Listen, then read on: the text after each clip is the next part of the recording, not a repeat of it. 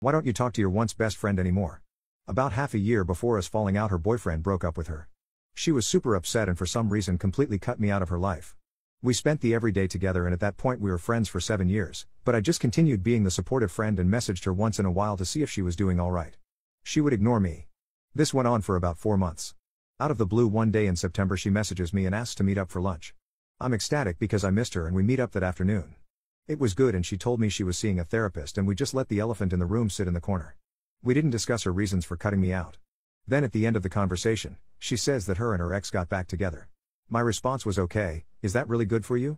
I honestly like the guy and still hang out with him once in a while now, but he was not a very good boyfriend to her. He manipulated her, laid hands on her multiple times. Made her and her parents' relationships rocky at best, and then cheated on her with three different girls all at the same time. However, he claimed he was a changed man and she fell for it. Eventually, around October, he breaks up with her again, claiming he has found someone better. His place is a few blocks from mine, so she comes over and is absolutely hysterical. I put her in mine and my boyfriend's bed and just hold her for a little and try to calm her down.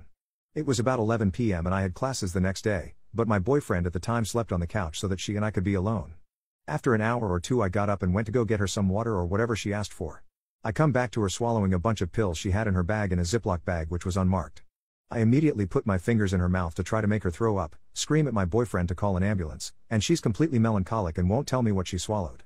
Ambulance came, she went to the hospital, they admitted her to a psych ward for monitoring, and when she was released, she seemed broken. Would not eat, would not drink, smoked a lot. And for a few months, she was like a puppy and followed me everywhere. I didn't mind and invited her to Thanksgiving, and even preemptively to Christmas with my family. At the end of November, another friend of mine passed away and I'm having a tough time. She refuses to lend an ear and let me cope, claiming her problems are much worse than mine. Fast forward another week. And I get dropped once again. No communication, nothing.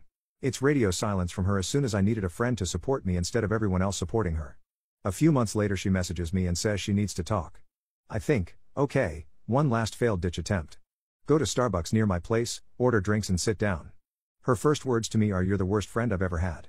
You're a degenerate and a waste of space, and I hate you for not letting me pass like I wanted. Don't you see, I lost him, he was my everything. I let her yell at me for about 10 minutes, then I'd had enough at this point.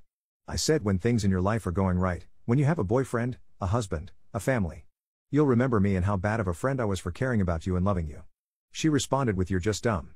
I dumped my drink on her, iced tea lemonade, which is by far the most dramatic, rude, and actual mean thing I've ever done, and I walked out, blocked her, and have not spoke to her ever since. It's been four years, and the mutual friends we had still tell me she asks about me.